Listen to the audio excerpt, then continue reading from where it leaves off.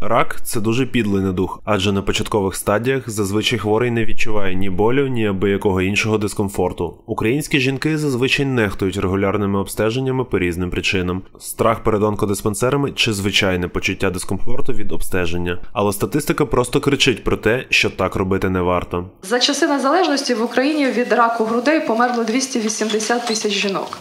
І е, лікарі проаналізували ситуацію, проаналізували, я так розумію, історії хвороб, і 40 тисяч з них можна було б врятувати, якщо б вони прийшли до лікарів вчасно, а не на пізній запущеній стадії. Пухлина вважається малою, якщо розміром вона не менше за 1 см. Але прості візити до лікарів не гарантують вчасного виявлення раку, адже навіть мамологи, не кажучи вже про інших лікарів, не завжди можуть виявити його пульпаторно. І справа зовсім не в їх професіоналізмі. Хвороба може протікати по-різному. Пальпаторное обследование, визит и консультация – это хороший метод, ежегодно это нужно проводить. Но, к сожалению, без дополнительного метода обследования до 40 лет УЗИ, а после 40-45 лет, в зависимости от показаний, маммография. Причем маммографию нужно делать всем здоровым женщинам старше 45 лет э, раз в два года. Это европейские стандарты, и ежегодно это штатовские стандарты.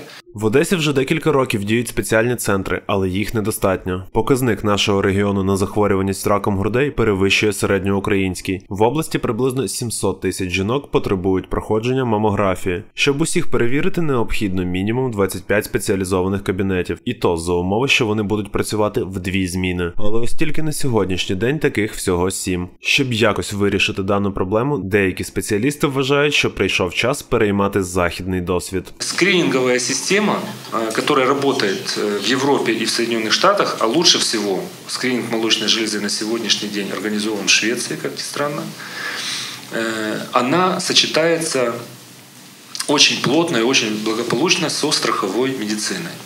То есть э, женщине просто-напросто не продлевают страховку на следующий год, если она не прошла маммографию. Вот. Это все сделано, организовано на уровне государства. И государство беспокоится о своих жительницах. Медики звертаються і до чоловіків, щоб ті подбали про здоров'я своїх жінок, адже хворобу легше попередити, аніж лікувати.